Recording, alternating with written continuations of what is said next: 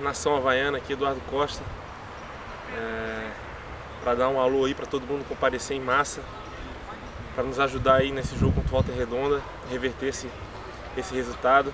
Então vocês com certeza são peça importantíssima aí para a gente conseguir.